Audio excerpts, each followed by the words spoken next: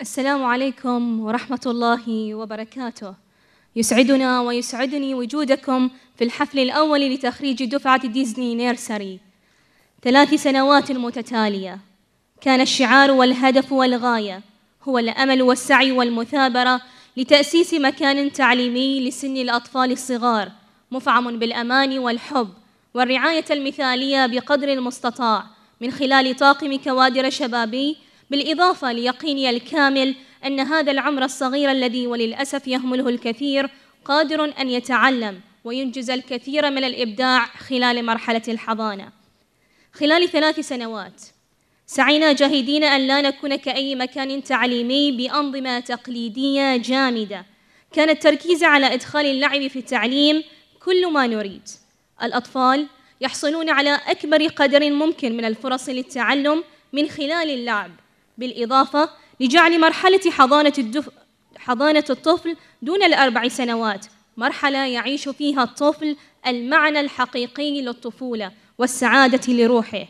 من خلال تكثيف الفعاليات والأنشطة والنزهات الخارجية التي تساهم بدور كبير في تنمية مهارات الطفل يخطو الطفل بكل ثقة لمرحلة التعليم الإلزامي المدرسة بكل يسر.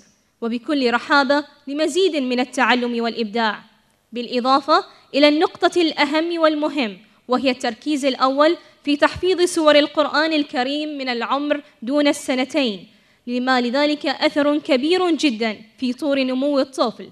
فالقرآن يتزامن ثباته في القلب مع نمو هذا الجسد الصغير فعند ذلك يكون في دمه كما روي في الحديث الشريف من تعلم القرآن وهو فتي السن خلطه الله في دمه ولحمه.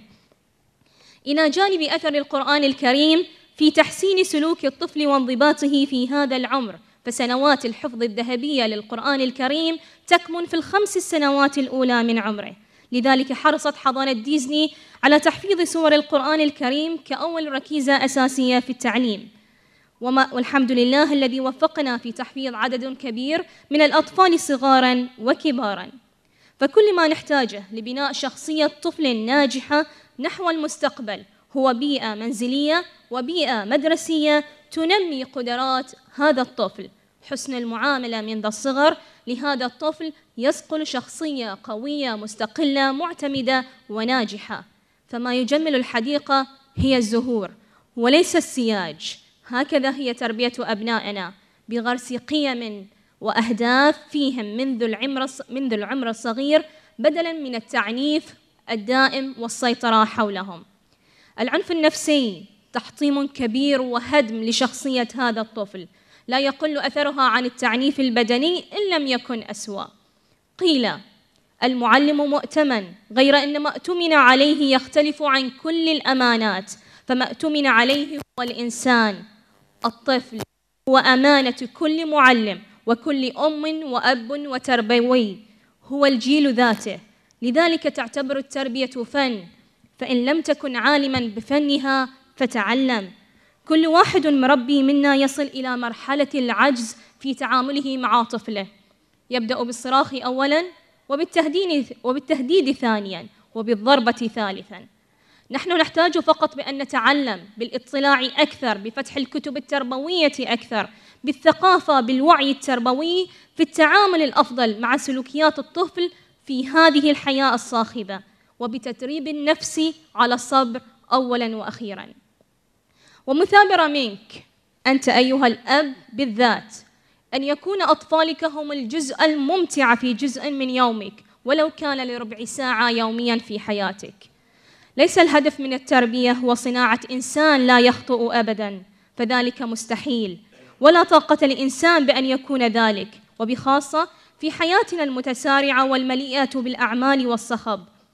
الأخطاء لا مفر منها ولكن يمكن تقليصها بالأساليب التربوية التي ترتكز على تنمية مداركهم وتعزز من قدراتهم في حل أي مشكلة قد يواجهونها مستقبلا.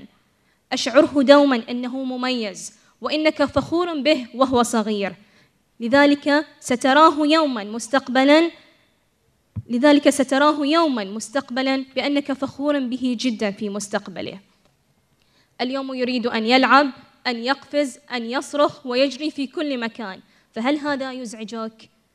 غدا يريد أن يستقل ويصاحب من يشاء فهل هذا سيقلقك؟ بعد الغد سيطلب منك العون لتحزم أمتعة سفره لدراسة خارجية أو زواج أو ما شابه.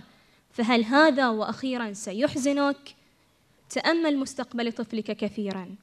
لتعرف أن ما تواجهه من تحديات اليوم هي في الحقيقة أبسط مما يخيل إليك. فلو رأيت المستقبل ومشكلاته ستدرك أن سعادتك العائلية الآن قد طويت مبكرا نتيجة ضجرك الدائمة في البيت وتوترك المستمر. مع هؤلاء الصغار. بابا وماما هاتان الكلمتان الصادرتان من فم الطفولة ومنبع الطهر ونداء البراءة. حفظهم المولى في أحضانكم عمرا طويلا صالحا بإذن الله وبكل توفيق. ونسأل الله عز وجل أن يوفقنا وإياكم لكل خير لهم. والسلام عليكم ورحمة الله وبركاته.